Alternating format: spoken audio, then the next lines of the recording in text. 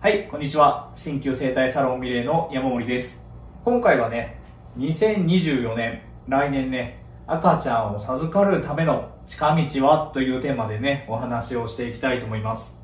まずね、もう結論。妊娠するための近道は、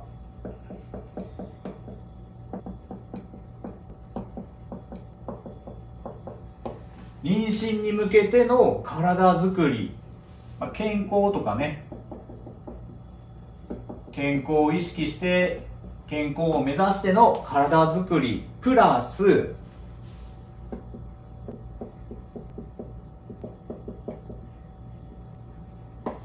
病院での不妊治療を受ける。これがやはりね赤ちゃん早く授かろうと思った時の近道となると私は考えます。赤ちゃんを授かるまでの過程自然妊娠で妊娠を目指すとか人工授精でとか体外受精をしてとかあ考え方は自由です。正解もないしね。誰が何が正しいとかっていうことはない。まあそこまでの時間の費やし方とかね、まあ、ゆっくりそこを目指していくっていうのもありだし早くっていうのもその人たちの自由。でも早く赤ちゃんを授かりたいなとかこの時期に出産して育児スタートさせたいなとかっていうね自分の中の理想とかがあったりするじゃないですか。そう考えた時に私は妊娠に向けての体づくり、まあ、体質改善とかっていう言い方をねしたりもしますがプラス病院での不妊治療っていうのが近道だと考えます。まず病院での不妊治療ですがこれね勘違いされている方も多いんですが不妊治療病院での不妊治療っていうのは妊娠させてくれるための治療ではありません。妊娠をするためのアシストをしてくれるのが不妊治療です。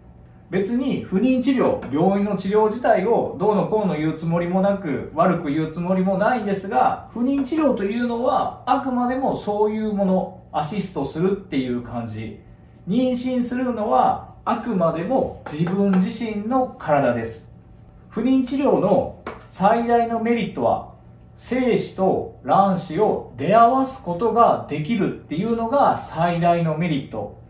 卵胞チェックとかをして卵の排卵を予想して精子と卵子がなるべく出会いやすいようにしたりとか人工授精精子ね元気がない精子をちょっとねアシストしてあげたりとかそういう出会いやすいように、まあ、環境を整えてあげたり体外受精とかになってくると、まあ、顕微授精分かりやすいですが精子と卵子を直接出会わすことができるっていうのが不妊治療の最大のメリット。でもこの出会えるかどうかっていうところがすごく大きなハードルにもなってきてるのも事実なのでこの不妊治療の力を借りて出会わすことができる受精させるっていうことはすごい大きなハードルを超えるためのアシストにはなってきます。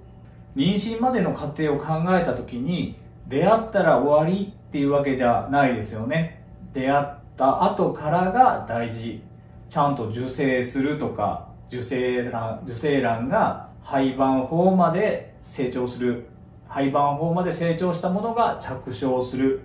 着床したものがちゃんと育っていくっていうのは不妊治療の力というよりはもともと自分の妊娠するための能力になってきます。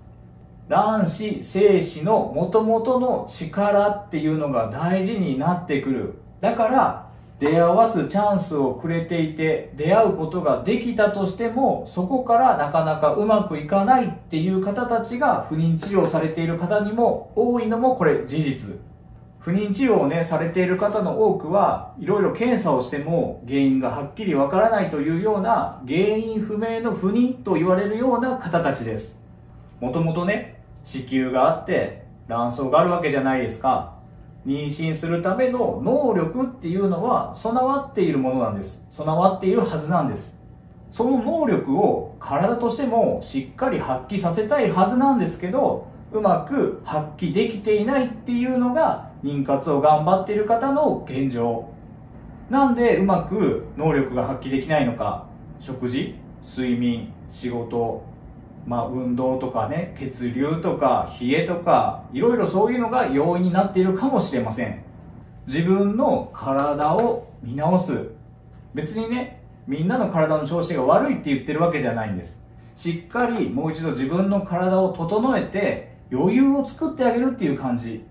悪いわけじゃないけど、まあ、こうなっていきたいなとかこういう状態がいいなっていう理想があったりすると思います。そういう理想に向かって行動をしていってそして余裕を作ってあげる。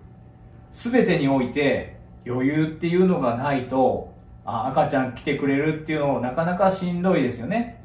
不妊治療の技術っていうのは間違いなく高いです。技術力が日本の不妊治療っていうのはあります。その技術を生かすためにも自分自身の体健康などに気をつけて整えていく。妊娠するための体づくりっていうのをしていく